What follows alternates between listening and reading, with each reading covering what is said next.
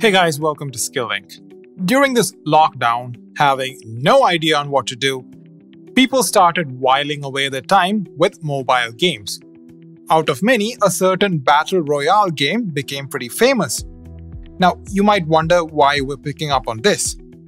Well, watch the video until the very end to know the reason. In the game, in order to survive from other players trying to kill you, you would have often tried to get your hands on bulletproof vests right? There are three levels of vests in the game.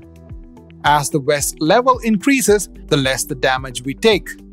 Actually, this concept is inspired from real world scenarios. For example, the police force, high profile citizen, and bodyguards wear soft vests, whereas hard plate reinforced vests are worn by combat soldiers, police tactical units, and hostage rescue teams. So, based upon the application, the safety level of the vests vary. The basic idea behind a bulletproof vest is to absorb the impact and reduce or stop its penetration into the body. But before using it, the vest needs to be tested, right? But testing each and every vest is not possible for example, MKU is an Indian company that manufactures protection equipment for over 20 lakh soldiers. So it's close to impossible to test each and every equipment. The best solution for this must be a simulation. By analyzing the CAD model, we can get the best results. For performing this, we need finite element analysis, commonly known as FEA, it's a simulation of physical phenomenon using various mathematical techniques. The technique is referred to as finite element method. The algorithms of FEA are integrated with simulation softwares where the engineers use FEM to reduce the number of physical prototypes and run virtual experiments. So, if you're an engineering graduate or currently pursuing engineering and aspire to work in the CAE domain, we at Skill-Lync provide a course favoring your interest called Hypermesh for FEA plastic and sheet metal applications. Usually, the workflow in computer aided engineering would be pre processing, solving, and post processing.